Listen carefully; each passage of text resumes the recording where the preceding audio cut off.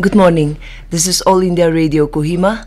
I am Matsina reading you the news. External Affairs Minister Dr. S. Jaishankar asserted that there is greater appetite in the world for investing in India.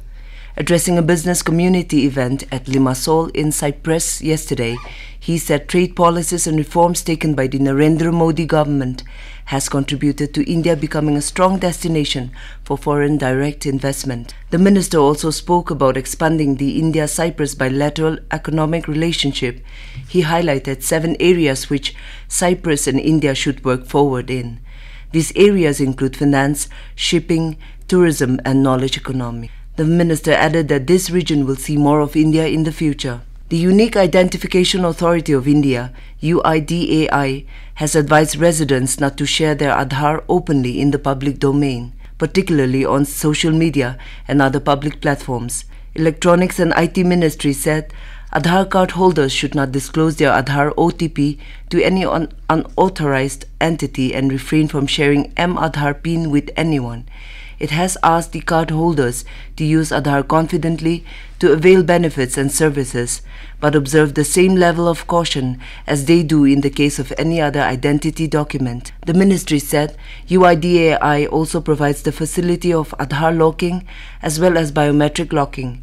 If a resident resident is not likely to use Aadhaar for a period of time, he or she may lock Aadhaar or biometrics for such a time period the same can be unlocked conveniently and instantly as and when required.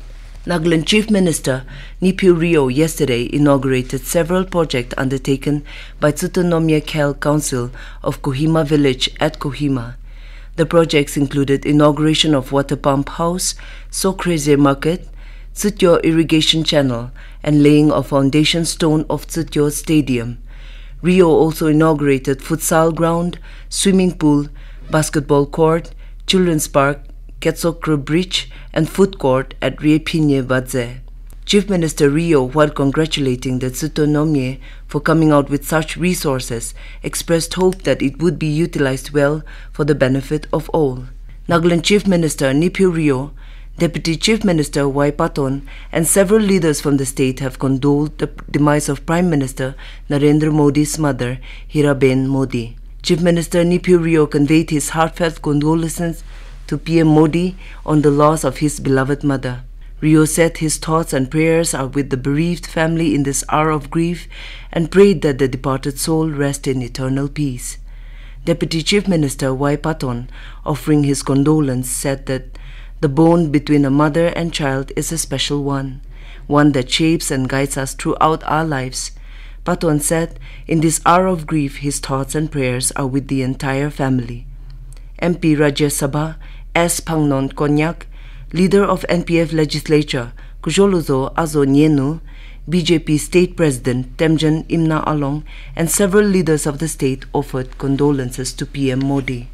Government has launched Prajwala Challenge, inviting ideas, solutions, and actions to transform rural economy.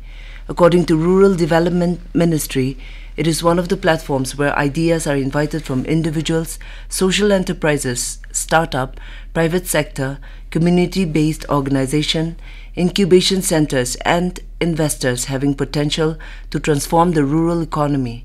The ministry said the applicants can visit the website www.prajwalachallenge.com and apply till 31st of January. Deen Dayal Antyodaya Yojana, National Rural Livelihoods Mission, has launched the Prajwala Challenge to transform the rural economy. The top five ideas will be rewarded with 2 lakh rupees each. And in Santosh Trophy, Hailo Ibe Irangau's only goal in the fifth minute helped Nagaland beat Tamil Nadu and registered second win of the 76th National Football Championship for Hero Santosh Trophy 2022-2023 yesterday. A second win and six points in Group 3 for the team after defeating Uttar Pradesh in the first match. Clubbed in the Group 3 with Goa, Assam, Tamil Nadu, Uttar Pradesh and Arunachal Pradesh. Nagaland will still have three matches to play against Assam, Goa and Arunachal Pradesh to progress into the next round. That is all we have in this morning news bulletin. Have a good day.